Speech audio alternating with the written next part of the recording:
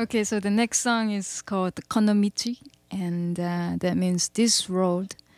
It's a Japanese folk song, and uh, this is to be recorded.